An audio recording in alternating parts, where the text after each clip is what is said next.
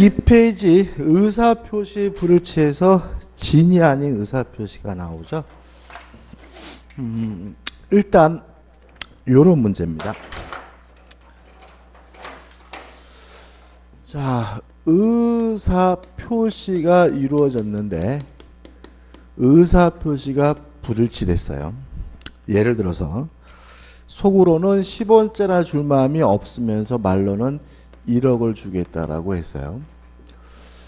그 다음에 요 불일치됐을 뻔히 알면서 했다면 요걸 우리가 진이 아닌 의사표시라고 하고요. 우리가 흔히 쓰는 말은 거짓말입니다. 그죠? 속으로 줄 마음도 없으면서 뻔히 알면서 이러 줄까? 이런 걸 우리가 뭐죠? 거짓말. 차박가 줄까? 이런 거짓말 얘기죠. 그래서 우리는 지금 뭐라고 있냐면 거짓말에 관한 법적 효과를 공부하고 있는 건데 이미 우리가 효과를 알아요. 자, 왜 그러냐면 의사와 표시가 불일치됐으면 법률행위 해석을 하게 되는데 원칙이 무슨 해석이죠? 규범적 해석이니까 표시된 대로 1억을 줘야 되겠죠. 따라서 원칙적으로 뭐한 거죠? 유효한 거죠. 그 다음에 예외적으로 자연적 해석을 하게 되는데 언제 자연적 해석을 하게 되냐면 상대방이 알았거나 알 수 있었다면 무슨 해석을 해요? 자연적 해석을 하게 되고요. 자연적 해석을 하게 되면 속마음대로 1억 줄 필요가 없는 거니까 뭐가 되는 거죠? 무효가 되는 거죠. 여기서 이제 어떤 생각을 하게 되냐면 아까 우리가 했던 법률행위 해석하고 내용이 뭐죠? 똑같다. 왜 그러느냐? 이런 거죠. 민법 조문은 아무렇게나 멋대로 그냥 만드는 게 아닙니다. 법률 이론에 의해서 뭘 만드는 거죠? 민법 조문을 만드는 거거든요. 그럼 결국은 법률행위 해석이라는 이론에 따라서 107조, 108조, 109조, 110조 하는 뭐가요? 민법 조문들이 뭐 하고 있는 거예요? 만들어지고 있다. 이렇게 되는 거고요. 그래서 결국은 어 아까 우리가 전시했던 법률행 해석이 은근히 뭐죠? 중요하다고 제가 강조했던 이유가 여기 있는 거죠. 추가되는 것은 뭐냐면 다만 무효를 가지고 선의의 제3자 모르는 제3자에게 뭐 하지 못하냐면 대항하지 못한다. 요거 하나만 추가되는 거예요. 그럼 법조문 제가 한번 읽어볼게요. 107조입니다. 1항 의사표시는 표의자의 진이 아님을 알고 한 것이라도 그 효력이 있다. 원칙이 뭐죠? 유효하고요. 원칙적으로 유효한 이유는 무슨 해석이 원칙이니까요? 규범적 해석이 원칙이니까 그렇고요. 그러나 상대방이 표의자의 진이 아님을 알았거나 이를 알 수 있었을 경우에는 뭐죠? 무효란다. 상대방이 알았거나 알 수 있었으면 무슨 해석을 해요? 자연적 해석을 하기 때문에 속 마음대로 뭐가 돼요? 무효가 되고요. 이왕 전항의 의사표시 무효는 선의 제3자, 모르는 제3자에게 뭐하지 못하죠? 대항하지 못합니다.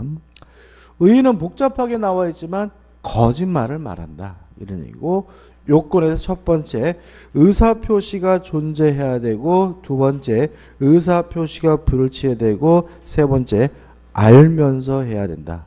몰랐다면 실수한 거니까 그건 뭐가 돼요? 착오가 되는 거고요.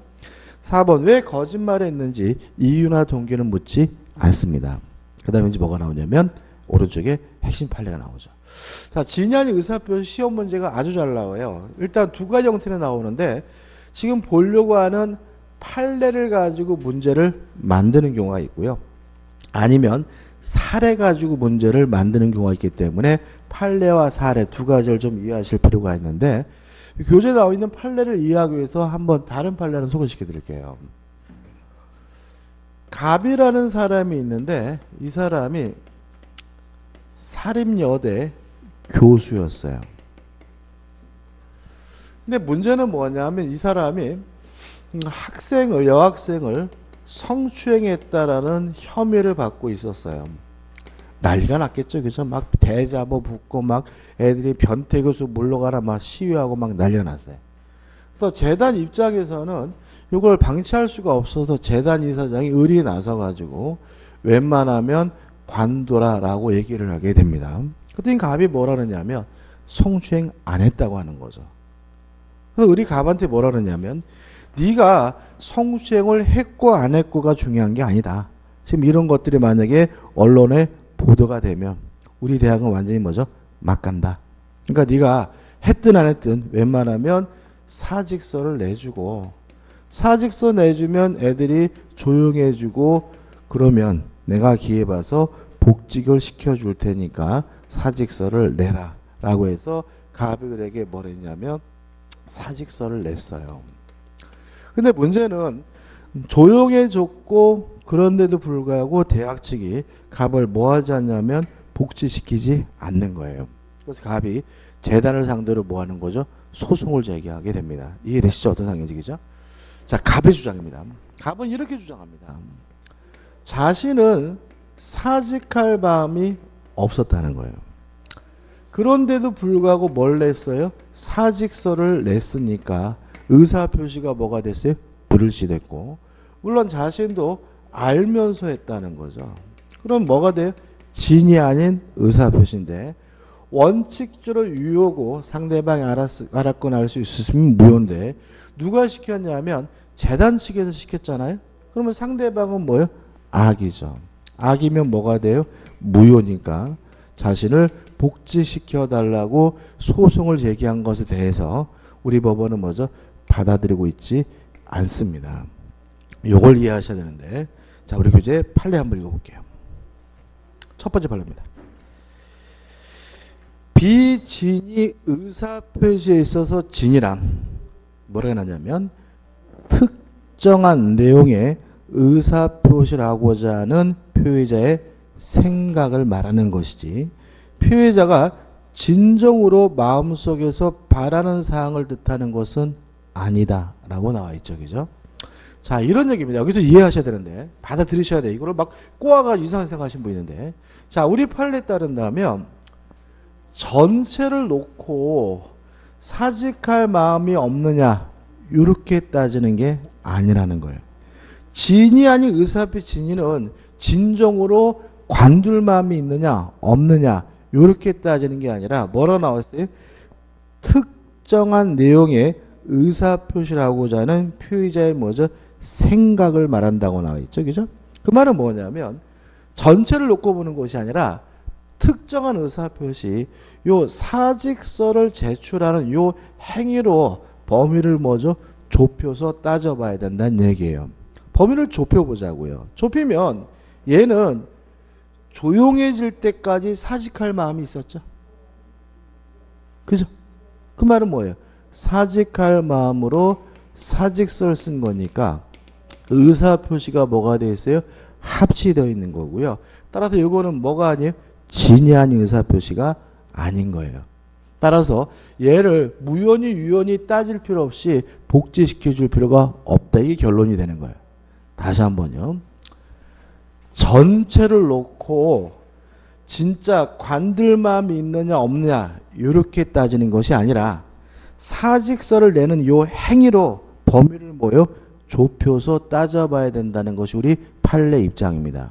따라서 이 사람은 관들 마음이 있어요. 언제까지? 조용해질 때까지. 따라서 조용해질 때까지 관들 마음으로 사직서를 냈으니까 의사 표시가 뭐가 돼 있어요? 합치되어 있으니까 아예 뭐가 아닌 거예요? 진이 아닌 의사 표시가 아닌 거예요. 다시 한번요. 진정으로 관둘 마음이 있느냐 없느냐 이렇게 따지는 게 아닙니다. 사직서를 내는 행위 요 특정된 행위로 범위를 뭐죠? 좁혀서 따져야 된다는 것이 우리 판례 입장입니다. 이해되시죠? 그죠? 하나부터 해볼게요. 제가 길을 가는데 누가 몽두를 들고 아저씨 3만 원만 줘 그런단 말이죠. 안 주면 좁혀겠다는 뜻이잖아요. 그래서 제가 두드려 맞을까 무서워서 3만 원을 줬어요. 이게 진양의 의사표시냐. 만약에 제가 진정으로 줄 마음이 있느냐 없느냐 이렇게 따지면 이것도 뭐가 돼버려요? 진양의 의사표시로 돼버리는 거예요. 근데 우리 판에 따른다면 진정으로 줄 마음이 있느냐 없느냐 이렇게 따지는 게 아니라 3만 원을 주는 그 행위로 범위를 뭐요? 좁혀서 따져봐야 된다는 것이 우리 판례 입장이니까 무서웠든 어떻든 간에 3만 원을 줄 마음으로 뭘 준 거예요? 3만 원을 준 거니까 의사 표시가 뭐가 돼 있어요? 합치되어 있고요. 따라서 뭐가 될 수 없는 거예요? 진이 아닌 의사 표시 될 수가 없는 겁니다. 굉장히 중요한 판례입니다. 시험에 잘 나와요. 다시 한번 읽어볼게요. 비진이 의사 표시에 있어서 진이란 특정한 내용의 의사 표시를 하고자 하는 표의자 뭘 말해요? 생각을 말하는 것이지 표의자의 가 진정으로 마음속에서 바라는 사항을 뜻하는 것은 아니라고 할 것이므로 물론 시험 문제 나오면 어떻게 나오겠어요? 진이란 진정으로 마음속에서 바라는 사항을 의미한다 그런 뭐죠? X 이렇게 되는 거죠. 계속 보시면 비록 재산을 강제로 뺏긴다는 것이 원고의 본심으로 잠재되어 있었다 하여도 원고가 강박에 의해서나마 이 사건 증여를 하기로 하고 그에 따른 증여 의사 표시란 이상 증여의 내심의 효과 의사가 결여된 것이라 할 수는 없을 것이다. 다시 말하면 두드려 맞을까봐 3만을 줬더라도 그 3만을 주는 행위만을 놓고 보면 3만을 주려고 3만을 뭐준 거니까 의사표시가 뭐가 돼 있어요? 합치되어 있으므로 뭐가 될 수는 없어요? 진이 아닌 의사표시 될 수는 없을 것이다. 이렇게 되는 거죠. 이해되시죠? 이게 왜 이렇게 판시하는지 이유는 나중에 우리가 이제 민법 몇 번 돌고 나서 마지막에 이유까지 말씀드릴 거예요. 일단 진양 의사표 진이란 뭘 말합니까? 진정으로 마음속에서 바라는 말을 뜻하는 것은 아닙니다. 특정한 행위와 관련된 뭐죠? 증입니다. 그럼 두 번째 판례. 자, 두 번째 판례 이런 겁니다. A라는 학교법, 학교법인이 있어요. 근데 학교가 K라는 은행으로부터 뭘 받으려고 하냐면 대출을 받으려고 하는데 대출 한도가 다 차가지고 대출을 받을 수가 없었어요. 자, 이런 일이 왜 벌어지냐면 사립학교법에는 대출을 받을 수 있는 한도 금액을 엄격하게 제한합니다. 이유는 왜 그러냐면 만약에 학교 운동장이나 건물을 담보로 해서 너무 대출을 많이 받았다가 못 갚으면 뭐가 돼요? 경매가 되고 경매가 되면 아이들이 학기 중에도 길거리에 뭐죠? 나앉게 되죠. 그럼 이거는 뭐 돈 문제가 아니라 뭐예요? 사회 문제가 되고 제일 먼저 누가 자꾸 잘립니까? 교육부 장관부터 잘리겠죠. 그죠? 그렇기 때문에 엄격하게 제한을 두고 있어요. 대출 담보에서 뭐죠? 대출 받을 수 있는 금액을. 근데 그 한도가 다 차 가지고 뭐 할 수 없었냐면 대출을 받을 수가 없었는데 재밌는 거는 학교 선생님들은 대출이 참 잘 됩니다. 가장 큰 이유는 뭐죠? 도망을 안 가서. 그죠? 그래서 학교가 갚든 뭐죠? 교직원한테 내세운 거죠. 그래서 교직원들, 학교 선생님이 자기 이름으로 뭘 하게 되냐면 대출을 신청하게 되고요. 요 대출금이 다 누구한테 갔냐면 학교한테 다 갔어요. 그리고 그동안 원금도 이자도 누가 내고 있었냐면 학교에서 내고 있었는데 문제는 학교가 없어져 버렸어요. 그래서 은행 입장에서는 돈 받을 데가 없으니까 누굴 상대로 요 교직원들을 상대로 돈을 갚으라고 뭐 한 거예요? 소송을 제기한 건이에요. 이해되시죠? 당당이지. 자, 값 교직원의 주장입니다. 이런 얘기죠. 자신들은 대출을 신청할 마음이 없었다는 거예요. 그런데도 불구하고 뭘 했어요? 대출을 신청했으니까 의사 표시가 뭐가 됐어요?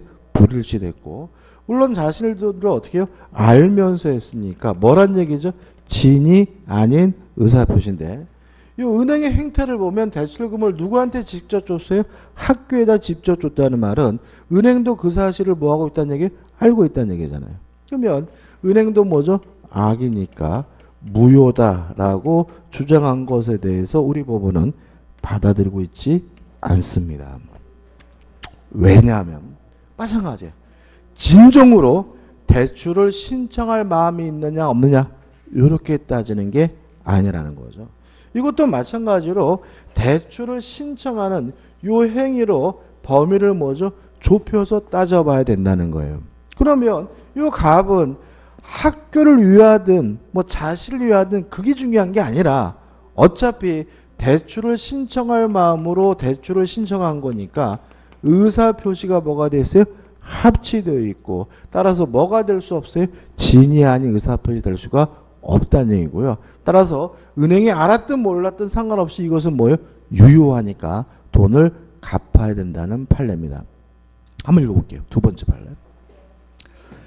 학교 법인이 사립학교법상 제한 규정 때문에 그 학교 교직원들이 소외인들의 명의를 빌려서 피고로부터 금원을 차용한 경우에 피고 역시 은행이겠죠. 그러한 사정을 알고 있었다 하더라도 위 소외인들의 교직원들 의사는 위 금전의 대차에 관해 그들의 주채무자로서 채무를 부담하겠다는 뜻이라 해석감이 상당하므로 이를 진이 아닌 의사뼈 볼 수는 없다라는 결론이 나오는 이유는 진정으로 대출을 신청할 마음이 있느냐 없느냐 이렇게 따지는 것이 아니라 대출을 신청한 행위로 범위를 뭐죠? 좁혀서 따지는 거다. 따라서 어차피 누구를 위하든지 간에 대출을 신청할 마음으로 뭐 한 거죠? 신청한 거니까 의사표시가 뭐가 돼 있어요? 합치되어 있으므로 뭐가 아닙니까? 진이 아닌 의사표시가 아닙니다. 재밌는 거는 이런 판례가 나오면 이제 댓글에 뭐가 달립니까? 사법부 썩었다. 거지 같은 놈들 은행 편만 돈다. 이렇게 나오잖아요. 그죠? 근데 이거는, 어, 좀 이따 또 나올 거예요. 또 나올 건데, 그, 다시 말씀드리지만 요새 사법부가 굉장히 불신을 많이 받는 시대인데 정치적인 문제나 그런 거에 대해서 사법부 돈입 문제는 제가 말할 거는 아닌데 민사적 문제에 대해서만은 그래도 우리 법원은 굉장히 뭐죠? 합리적이고 객관적이려고 노력을 하고요. 독립성이 보장되어 있고 특히 판사는 정의를 실현하는 사람이 아닙니다. 쉽게 말해서 판사는 뭐 심판이에요.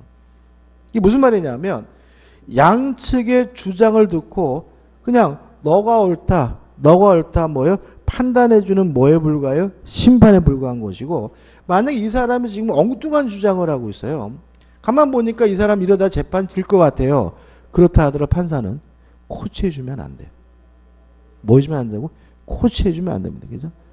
다시 말하면 판사는 뭐에 불과해? 심판에 불과합니다. 이거는 어, 요 교직원 측에서 잘못 주장한 거예요.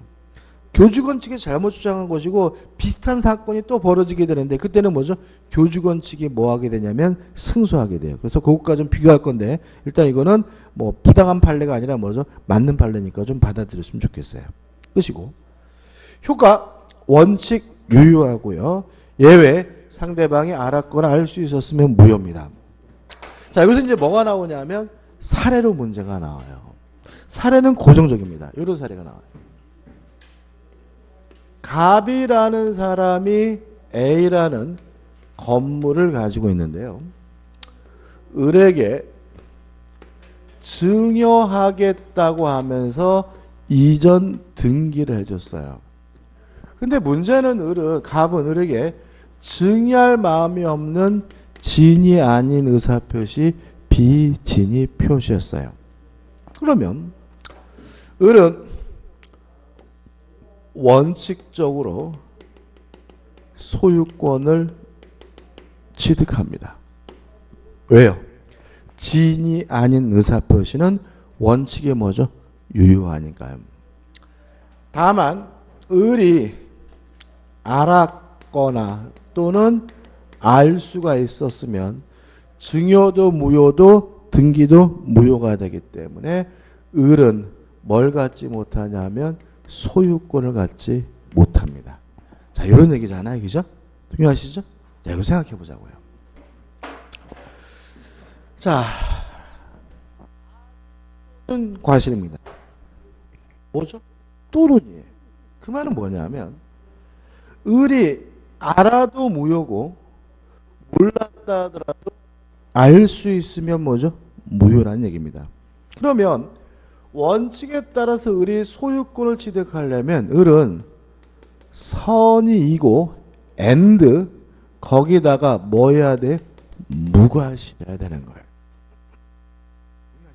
다시 한번 알아도 무효고 몰랐다 하더라도 알 수 있으면 무효입니다. 그럼 결국은 을이 원칙에 따라서 소유권을 취득하려면 선이 이고 거기다가 뭐 해야 돼? 무과실해야 돼요. 여기서 의문이 생깁니다. 원칙이 더 어려워요. 원칙의 경우의 수가 더 좁아요. 무슨 뜻이냐? 의사표시가 원칙적으로 유효하다는 말은 을은 선의이고 무과실임을 추정받는다는 얘기입니다. 따라서 을 스스로 자신이 선의이고 무과실임을 뭐 할 필요 없어요? 입증할 필요가 없는 거죠.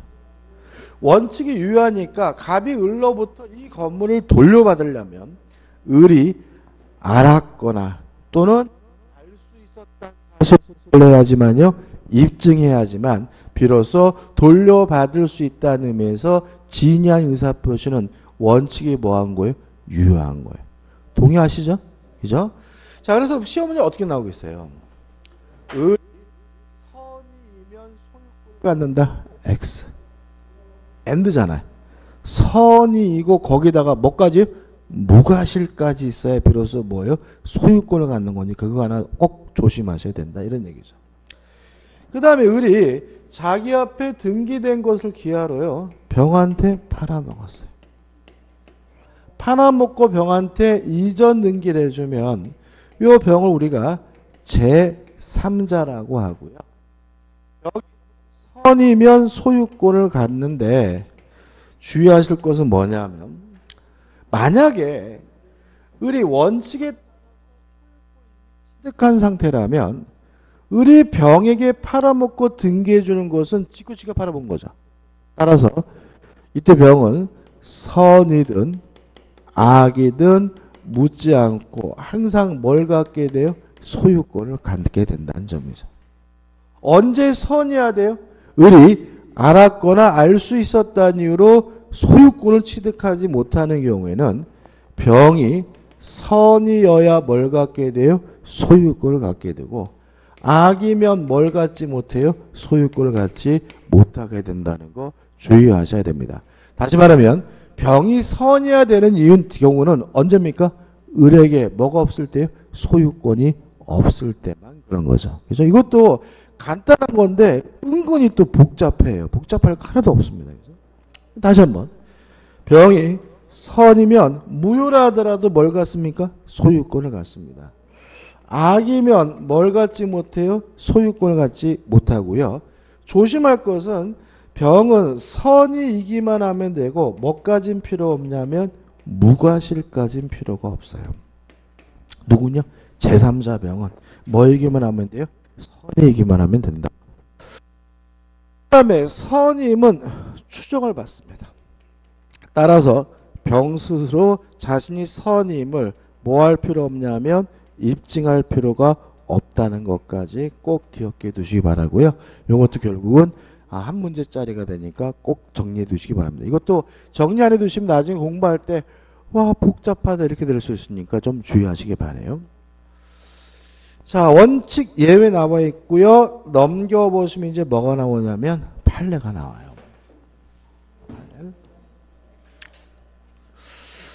자 이건 어떤 판례냐면 요런 문제입니다. 근로기준법에는 어떤 내용이 있냐면 1년 이상 근속을 하면 퇴직금을 지급해야 된다. 이런 게 나와 있어요. 뭐 정규직이든 비정규직이든 몇 년 넘으면요. 1년 넘으면 반드시 뭘 줘야 돼요? 퇴직금을 줘야 됩니다.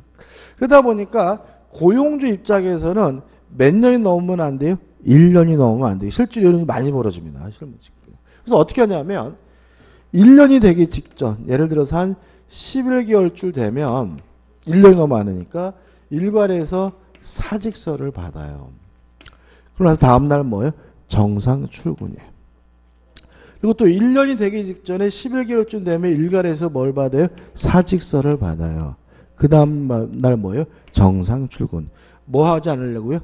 1년이 넘기지 않으려고 그러는 거죠. 그죠? 쉽게 말하면 1년 되기 직전에 안내방송 나오는 거죠. 총무부에서 말씀드립니다. 오늘은 사직서 제출하는 날이오니 한 번도 빠짐없이 사직서를 제출해 주면 어떻게 우르르 다 내고 다음날 뭐예요? 정상 출근. 또 우르르 다 내고 뭐죠? 정상 출근. 이거 어떻게 보거냐 이거죠. 그죠? 자, 한번 생각해 보죠. 근로자들은요. 명백히 사직할 마음이 없어요. 다음날 뭐라고요? 정상 출근이죠. 그런데도 불구하고 뭘 내고 있습니까? 사직서를 내고 있으니까 이거는 명백히 의사 표시가 뭐가 되어 있는 거예요? 불일치 되어 있는 거고요. 물론 근로자들도 어떻게 해요? 알면서 하는 거죠. 그죠? 무슨 말이죠? 진이 아닌 의사 표시입니다. 근데 누가 시켰냐면 회사 측에서 시켰잖아요. 그 말은 상대방도 뭐요? 악이라는 거죠. 상대방이 뭐죠? 악이. 그러면 요 사직서 제출 행위는 뭐인 거예요? 무효인 거죠. 따라 이 근로자들은 사직서 제출하지 않고 쭉 뭐 한 거예요? 근속을 한 것이니까 회사는 이 근로자들에게 뭘 줘야 돼요? 퇴직금을 지급해야 된다는 아주 대표적인 판례입니다. 이해되시죠? 이해되시죠? 안 되는 분 없죠? 그죠? 표정이 이렇게 어두우세요? 지금 이 사람들은 다시 앞에서 헷갈리나요? 자, 이런 얘기잖아요. 사직서를 내는 이 행위만을 놓고 보더라도 관들만 없으면서 사직서 낸 거예요. 왜요? 다음날 뭐라고요? 정상 출근이니까. 이거는 명백히 뭐인 거예요? 진이 아닌 의사 표시고 누가 시켰어요? 회사 측에서 시켰으니까 상대방이 뭐죠? 악이. 따라서 사직서 제출 행위는 뭐죠? 무효인 거죠. 이 사람들은 안 관둔 거잖아요. 계속해서 뭐 한 거예요? 근무한 거니까 뭘 줘야 돼요? 퇴직금을 지급해야 된다는 판례입니다. 한번 읽어볼게요. 근로자가 회사의 경영 반칙에 따라 사직원을 제출하고 회사가 이를 받아들여 퇴직 처리를 하였다가 즉시 재입사하는 형식을 취함으로써 근로자가 그 퇴직 전에 걸쳐 실질적인 근로관계 단절이 없이 계속 근무하였다면 어떤 상황인지 아시겠죠? 그 사직원 제출은 근로자가 퇴직할 의사 없이 퇴직 의사를 표시한 것으로서 뭐 해야 됩니까? 비진이 의사 표시에 해당하고 재입사를 전제로 사익 직원을 제출케 한 회사 또한 그와 같은 진이 아님을 알고 있었던 이 상당하다고 할 것이므로 위 사직원 제출과 퇴직 처리했다는 퇴직 유가는 뭐죠? 생기지 아니한다. 무효다. 따라서 계속 분석한 거니까 뭘 줘야 돼요? 퇴직금을 줘야 된다는 판례입니다. 그 다음 제3자에 대한 관계 무효라 하더라도 누구한테요? 선의의 제3자에 대항하지 못하고요. 선이기만 하면 되고 뭐까지는요? 무과실까지는 필요가 없다. 또 제3자는 선임을 추정받기 때문에 스스로 뭐 할 필요 없어요? 입증할 필요가 없다. 이렇게 되는 거죠. 그 다음 4번 적용 범위입니다. 1번 상대방 없는 단독행위에도 적용이 돼요. 다만 상대방이 없다면 상대방이 알았거나 알 수 있었다는 것은 존재할 수가 없으니까 항상 뭐예요? 유효한 거고요. 2번 적용이 배제되는 경우에서 가족법상행이 쭉 나오는데 가장 중요한 것이 뭐냐 밑에 두 번째 줄 공법상행입니다. 자 우리 민법은 개인과 개인 간의 관계를 규율하는 사법입니다. 따라서 사법상 행위에만 적용되고요. 국가와 개인 간의 문제 공법적 영역에는 우리 민법이 뭐 되지 않아요? 적용되지 않아요. 그래서 제가 이 변태 교수를 말씀드리면서 사립이란 말을 썼거든요. 왜 그러냐면 국립대 교수면 달라져요. 국립대 교수의 신분은 뭐죠? 공무원이고 공무원의 사직서 제출 행위는 뭐죠? 공법상 행위이기 때문에 뭐가 적용될 수 없어요? 민법이 적용될 수가 없는 거죠. 그래서 오른쪽 상단에 있는 판례가 뭐냐면 공무원의 사직서 제출 행위는 뭐죠? 공법상 행위이기 때문에 민법에 적용되지 않는다. 진이 아닌 의사표시라는 규정이 뭐될 수 없어요? 적용될 수가 없다는 판례가 나와 있는 거죠. 다시 말하면 민법은 원칙적으로 개인과 개인 간의 간의 사법상의 행위에 대해서 적용이 됩니다. 그 다음 이제 뭐가 나오죠? 통정허위 표시가 나옵니다. 중요합니다. 통정허위 표시는 뭐 거의 100% 시험에 나온다고 봐야 되는데 일단 개념은 이렇습니다.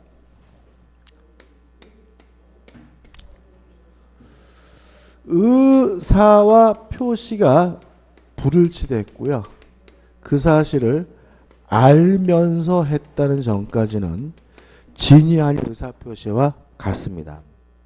다만 뭐가 다르냐면 상대방과 통정, 상대방과 짜고 했다는 말이 다릅니다. 그럼 이렇게 된 거죠. 혼자 하는 거짓말은 진이 아닌 의사표시. 상대방과 짜고 하는 거짓말은 뭐예요? 통정어의 표시. 뭐 이게 맞는지 모르겠지만 예를 들어서 예를 들어서 아이가 학교에서 시험을 봤는데 성적표가 60점이 나왔어요. 근데 요거 가지고 가면 엄마한테 뭐죠? 뒤지기 혼날 것 같아서 혼자서 뭐죠? 요렇게 80점으로 바꿨다면 혼자 한 거니까 뭐예요? 진이한 의사표시라면 요놈이 만약에 뻔뻔하게도 60점짜리 성적표를 들고 왔어요. 그럼 엄마가 뭐라 그랬어요?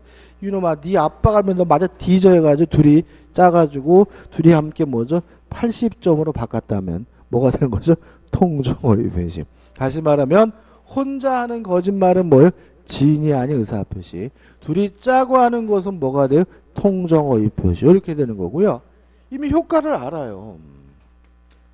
상대방과 짜고 하면 상대방이 항상 알겠죠. 항상 아니까 항상 따라서 진, 아, 표시는 항상 뭐가 돼요? 무효가 되고요. 다만 무효를 가지고 선의 제3자, 모르는 제3자에게 뭐 하지 못해요? 대항하지 못하는 거죠. 법정 볼까요? 108조입니다. 1항 상대방과 통정한 허의 의사표시는 무효로 한다. 둘이 짜고 하는 거짓말은 뭐죠? 무효다. 2항 전항의 의사표시 무효는 누구한테 대항하지 못하죠? 선의의 제3자에게 대항하지 못한다. 의, 짜고 하는 거짓말이고 밑에 뭐가 나오죠? 판례가 나와요. 판례는 뭐냐면 요 사건입니다. 이 사건. 다시 한번 보죠. 자, A라는 학교가 자기 이름으로 대출을 받으려고 하니까 대출을 더 이상 받을 수가 없는 상태인 거죠. 어, 그래서 누구 이름으로 대출을 받았어요? 교직원. 갑든 교직원의 이름으로 뭐 했습니까? 대출을 신청했다. 그죠? 이거잖아요. 아닌 의사 표시다라고 주장하면서 뭐 했어요? 패소했죠. 이 사건 사건 내용은 유사한데 이번에는 변호사가 뭐냐면 교직원을 기준으로 따진 게 아니라 학교를 기준으로 따져본 거예요. 자, 한번 보자고요. 학교를 기준으로 하면 자 학교는 누가 대출을 받고 싶은 거예요? 학교 자신이 대출을 받고 싶은 거죠. 동의하시죠? 근데 자기가 뭐 받을 수 없어요? 대출을 받을 수가 없으니까 누굴 내세웠어요? 교직원 갑을 내세웠잖아요. 그럼 이렇게 따지면 이제는 의사 표시가 명백히 뭐가 돼요? 불일치되게 돼요. 그죠? 누가 학교를 대출 받고 싶어요? 학교가. 누굴 내세웠어요? 교직원이. 이렇게 따지면 뭐예요? 의사 표시가 불일치되고요. 물론 학교도 어떻게 해요? 알면서 했고 그 다음에 은행의 태도인데 은행은 요 교직원이 대출을 신청하면 대출금을 누구한테 줬어요? 학교에다 줬잖아요. 그럼 이거는 은행이 아는 정도가 아니에요. 학교하고 뭐예요? 짠 거죠. 그죠? 학교에다 뭐, 은행이 뭐라는 거예요? 아니, 교직원 이름 신청하면 내가 대출해가지고 학교 주기다. 이런 거잖아요. 그럼 결국 뭐예요? 상대방과 뭐예요? 통정, 짜고 한 거죠. 따라서 이것은 통정어의 표시로서 무효다라는 판결을 이끌어내게 됩니다. 따라서 요 대출 신청 행위가 뭐로서 무효인 거예요? 통정어의 표시로서 무효니까 뭐 학교든 뭐 교직원이든 대출금을 뭐 할 필요 없어요? 갚을 필요는 없다라는 판결을 뭐하게 돼요? 이끌어내게 돼요. 그 판례요. 그래서 시험에 타인의 이름으로 대출 받는 것이 두 가지 판례가 나오는 거죠. 첫째, 뭐는 아니에요? 지인이 아닌 의사표시는 아닌 거예요. 뭐이긴 합니까? 통정허위 표시기는 한 거예요. 근데 이게 모순되는 게 아니라 뭘요? 누구를 기준으로 해서 주장하고 따지냐에 따라서 결론이 뭐죠? 180도 어떻게 요? 달라지는 거니까 모순됐다 생각하지 마시고 뭐죠? 기억해 두시면 돼요. 이건 또 외워두시는 게 좋아요. 이렇게 외우시면 돼요. 타인의 이름으로 대출을 받는 거죠. 그죠? 받는 행위는 첫째 뭐는 아닙니까? 진이 아닌 의사 표시는 아니다. 뭐이긴 합니까? 통정 허위 표시긴 하다. 이렇게 외워두시는 것이 문제 풀 때 편하니까요. 좀 외워두시기 바라고 어, 통정 허위 표시는 판례가 중요한 것은 아닙니다. 이 정도만 기억해 두시면 돼요. 그 다음에 넘겨보시면 206페이지에 요건이 나와요. 1번 의사 표시가 존재할 것 2번 의사 표시가 뭐죠? 불일치될 것 3번 불일치됐으면 어떻게요? 알고 있을 것까지는 무엇과 똑같습니까? 진이 아닌 의사 표시와 똑같죠. 다른 것은 뭔가요? 4번 상대방과 뭐요? 통정 짜고 했을 것이죠. 그죠? 그래서 혼자 하는 거짓말은 아닌 의사 표시, 짜고 하는 거짓말은 뭐죠? 통정의 표시 이렇게 되는 거고 우측에 보시면 이제 뭐가 나오냐면 효과가 나와요. 통정의 표시는 이 법조문이 대단히 뭐죠? 단순해요. 판례라고 해봤자 요거 하나만 기억하면 돼요. 그럼 결국은 어떻게 시험 문제가 나오냐면 사례로 구성에 대해서 시험 문제 나오기 때문에 사례를 봐야 되거든요. 그래서 시작하면 시간이 많이 걸리기 때문에 좀 쉬었다가 이 효과부터 보도록 하겠습니다.